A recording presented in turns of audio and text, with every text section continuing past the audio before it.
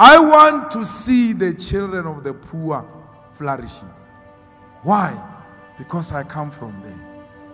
I'm a child of a domestic worker. My mother suffered epilepsy. She couldn't do anything for me.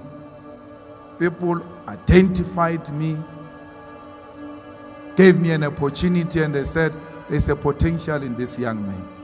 I don't have anything, I have nothing to offer. I can't build a school. But with this leadership and you, we can realize a dream of changing a life of the hopeless masses of our people. We stayed in a shack. We slept without food.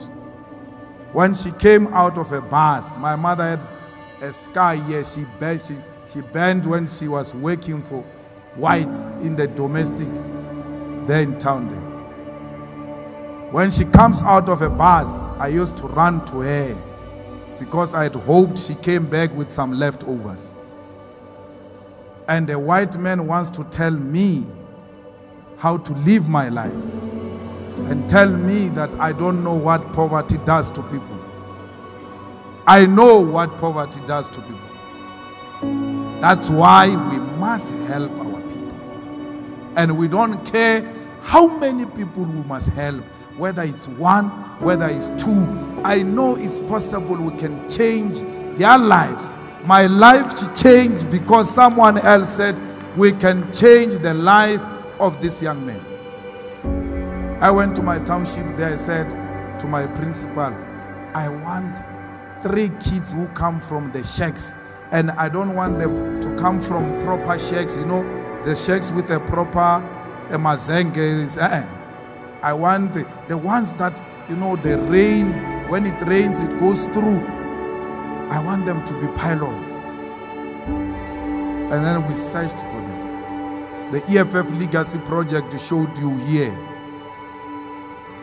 We, we, we took them to become pilots from shacks. And I said to them, I don't want you to join the EFF or vote for the EFF. If you do that, you can do that on your own. But I want you, when you become pilots, to finance other pilots who come from the same background that you come from. So I don't understand why Vodacom can't build a school. I mean, they are monopolizing the network the data, Comrade Kiro.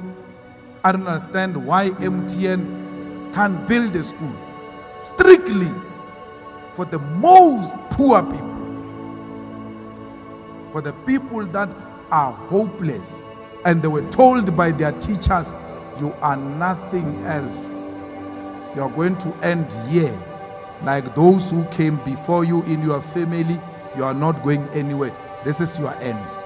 Those are the people we must go and identify and help them. I tell you my history not because I want you to pity me. I don't want any favor from anyone.